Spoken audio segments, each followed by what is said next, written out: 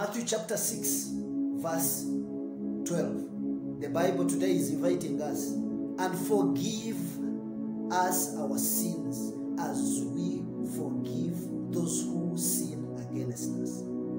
The Bible is showing us that forgiveness is a must. It's a, it's mandatory. It's not saying that forgiveness is an option. If you want God to forgive you, you need to forgive.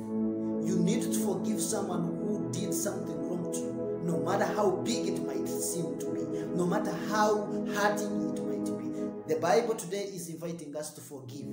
Actually, forgiveness works more for the forgiver than it does to the forgiven. So when the word of God is inviting us to forgive, for starters, it's inviting us to set ourselves free. When we forgive, we receive God's healing. When we forgive, we receive this inner freedom. When we forgive, we are set free. When we forgive, we are given this new being that we become fresh in ourselves, but also in our relationship with God, and we are set free. So I invite you today that no matter how hard it might sound to you, no matter how hard or big it might be that someone did against you, learn to forgive. Make a choice today to forgive, and God our Father in heaven shall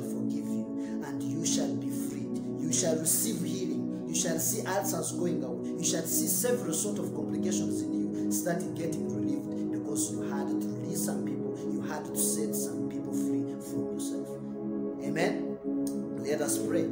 Our Father, who art in heaven, hallowed be your name. Your kingdom come. Your will be done on earth as it is in heaven. Give us this day our daily bread and forgive us our sins as we forgive those who sin against us. And lead us not into temptation, but deliver